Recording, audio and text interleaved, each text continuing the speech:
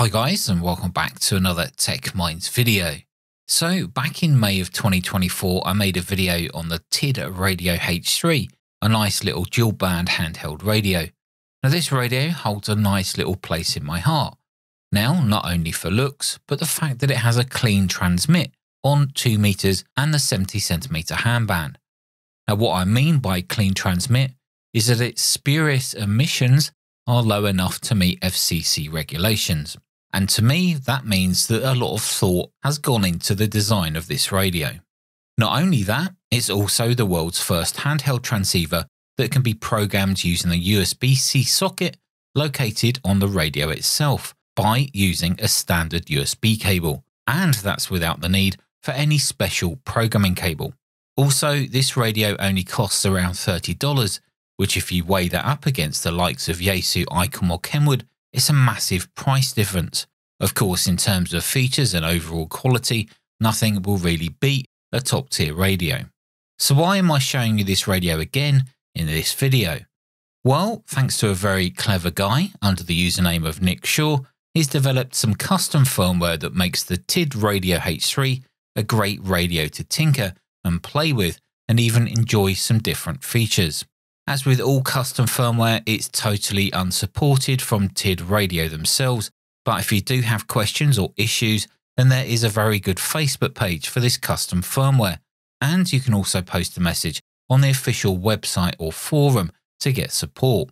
And the latest version of this NicSure firmware and the forum can be found at nicsure.co.uk.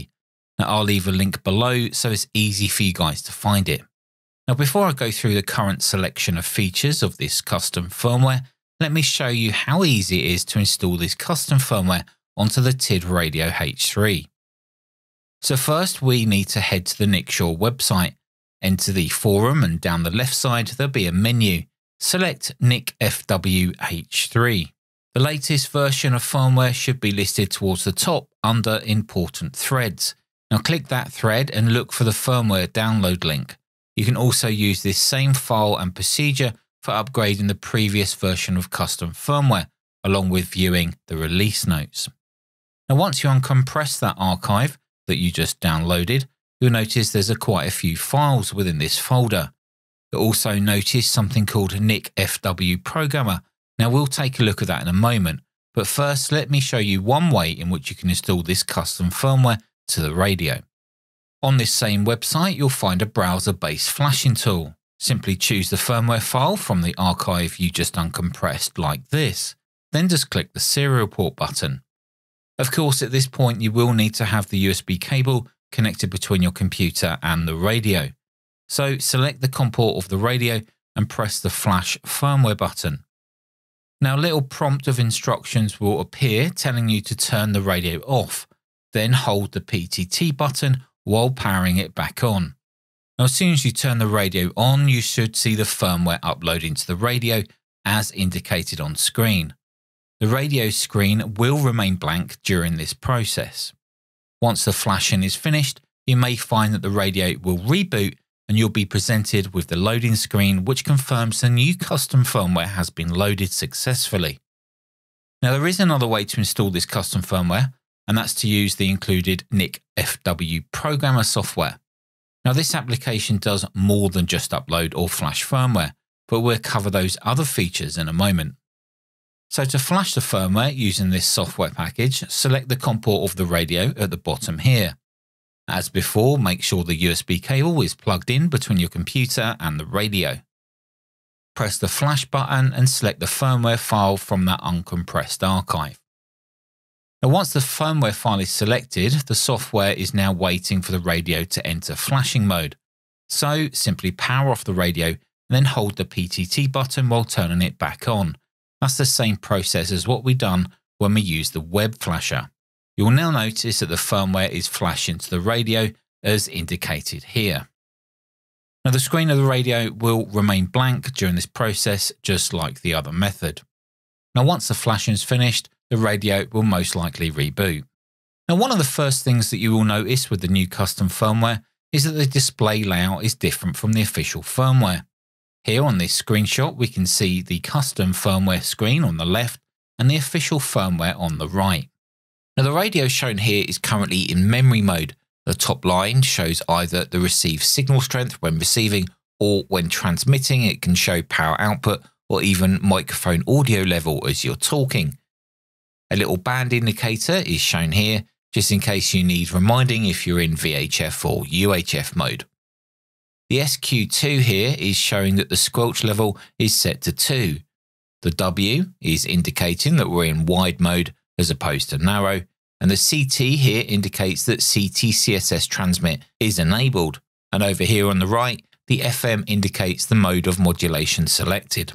Now here is the memory name that was defined in software.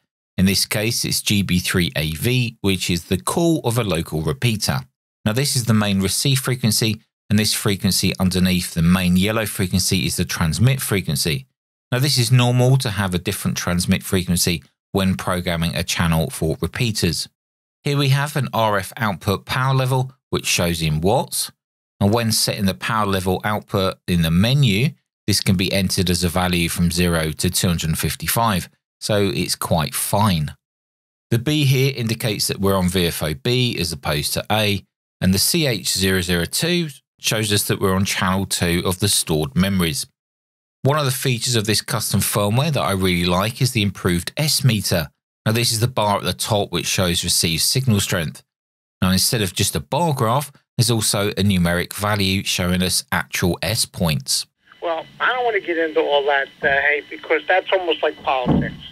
Uh, doing the strike in California and like one in New York. What you may have noticed while receiving in this clip is that there's also a numeric value flickering on or off just above that FM text on the right towards the top.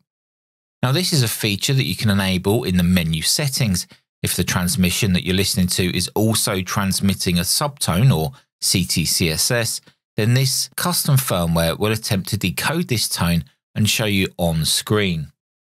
Now, this is super useful if you're tuned to a repeater and you do not know what the CTCSS tone is to access it. Using this feature allows you to quickly program your radio with that correct CTCSS tone. So let's take a look at the programming application that comes bundled with the firmware download. Now, as before, you do need to have the radio connected via the USB cable and you need to have the correct COM port selected, which is set at the bottom of the application here. Now also, along the bottom, you'll find some buttons which will allow you to either load a previously saved configuration, save the current configuration to a file locally, read from the radio, and then write to the radio. There's also an import button and then there's that flash button that we used earlier. Now the channel tab contains all of the memories and adding or editing these memory channels is super simple. You just click on the cell that you want to edit and then enter a value. Now some of these do have a drop down choice and some do not. It's a bit like editing an Excel spreadsheet. The band plan tab allows you to configure the different bands within the radio and you can even specify a start and end frequency. There is a power calibration tab, but most likely that will have to be covered in another video as it's quite specific. The remote tab is a very interesting tab indeed. This will literally provide a real-time and working remote control of the radio. You even get to view the screen of the radio on your computer in real time. Now that keypad there to the right actually mimics the keypad on the radio itself, so you can pretty much do everything on the remote tab instead of doing it on the radio. The settings tab is also super useful as it can save time configuring the radio to your liking in a quick and easy fashion. Now this actually saves having to go through each menu setting on the radio one by one. Here you can see all of the settings in one place at the same time and then just make the changes that you need. Now scan presets is another cool feature. This allows you to create a scan preset or a specific range of frequencies that you want to scan and then use the activity scanner to scan that preset and then store all of those activity channels to memory. Now I'll show you that in more detail in a moment. Now this radio also has the ability to receive standard broadcast FM radio. Here we can set some favorite radio station frequencies just so that they're easier to find when using it on the radio itself. DTMF sequence presets can be made useful if you're using internet linked nodes like Echolink, IRLP, or even Allstar that use DTMF tones to change parameters over the air. On the end here, we have group labels, and this is where we can group channels together in a particular group and give it a label, a bit like how you create zones on a DMR radio. You could group all your repeaters together or all your favourite airband frequency. Well, the choice is yours really. Now, strangely enough, while I was in the middle of producing this video, there was actually a new firmware upgrade released, which came with a new version of this programming software. Now, this added a cool feature called UltraGraph, where you can see a live spectrum view of the predefined frequency and then show it live on the screen on your computer, just like this. You can even use the mouse to select a frequency.